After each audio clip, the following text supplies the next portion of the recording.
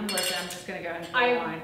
got out of Whole Foods. I went to the Whole Foods Hot Deli, took it out of the container, and then beautifully displayed it on a plate. I just tried to pour the wine and there's nothing in here. I poured the,